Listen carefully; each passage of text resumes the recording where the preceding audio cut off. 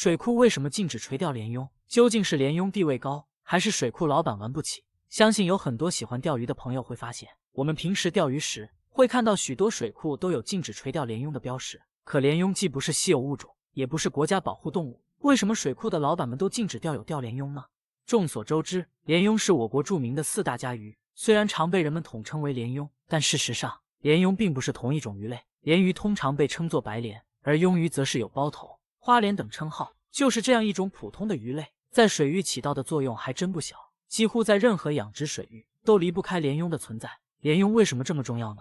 上世纪八十年代，千岛湖连续两年爆发了蓝藻现象。经调查发现，此次事件是由于千岛湖中的鲢鳙数量锐减导致的。所以相关部门决定在千岛湖中投放六十万斤鲢鳙。鲢鳙的出现大大增强了千岛湖的水质，为治理蓝藻现象做出了不可磨灭的贡献。无独有偶。二零零七年的太湖水危机事件引起了人们的关注，大量的蓝藻严重危害了太湖的生态环境。相关部门想到了以鱼治水的方案，在将莲庸投放进太湖中后，蓝藻问题得到了很好的缓解。一定会有人好奇，莲庸做出了如此大的贡献，它们究竟隐藏了什么样的奥秘？其实，莲庸和其他鱼类有一个完全不同的地方，那就是它们的腮腺非常细小，无法吸食过小的食物，所以它们通常会以水中的藻类、浮游动物等作为食物。在一定程度上改善了水的水质，这也就是为什么在蓝藻出现时，人们会第一个想到它的原因。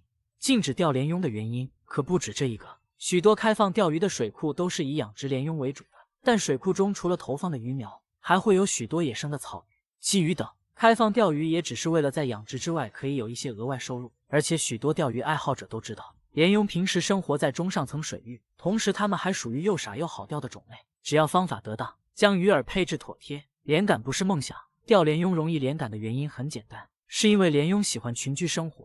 只要钓到一条莲庸，这就说明周围还有很多它的家属。如果开放莲庸垂钓，那水库的老板可能就会亏本了。所以一般水库都不会让钓友钓莲庸。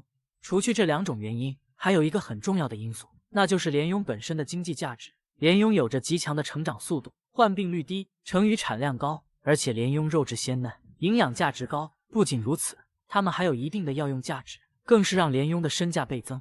不仅一些水库不允许钓莲庸，许多地方的相关部门也禁止了这项活动。尽管莲庸在我国并不罕见，但它们的产卵方式十分特别，只有在受到水流刺激时才会产卵。人工养殖的莲庸基本上是无法自行繁衍的，可以说是钓一条少一条。许多人看中了莲庸的经济价值，从而大肆捕捞，甚至有电鱼网鱼的现象发生。而莲庸一旦离开了它们的原生环境，繁殖能力就会大大减弱，因此数量也会随之减少。电鱼等行为对环境也造成了不小的伤害。为了保护莲庸，同时维护自然环境，许多地方都采取了相应的政策。一旦发现有人私自捕捞莲庸，就会进行罚款或拘留。莲庸作为我国的四大家鱼，一直都是需求量较大的鱼种。据统计，我国在二零一八年淡水养殖鱼的总产量为两千九百五十九万吨，其中鲢鱼占了三百八十五万吨，鳙鱼占了三百零九万吨。由此可见，虽然鲢鳙本身并不是什么珍稀物种。但它的价值依旧超越了大多数淡水钓鱼。这种行为本身是为了让人们远离城市喧嚣，在冗杂的工作之余可以得到身心上的放松。所以，我们也应该遵守相应的规定：该钓的鱼可以钓，不该钓的鱼就让它们自由的生活在水中。鲢鳙本身对水域的治理能力这么强，大肆的捕捞，不论是对自然还是对我们人类都没有一点好处。不要因为一己私欲就破坏自然和谐。本期视频到这里就结束了，对此你还有什么别的看法吗？欢迎留言评论。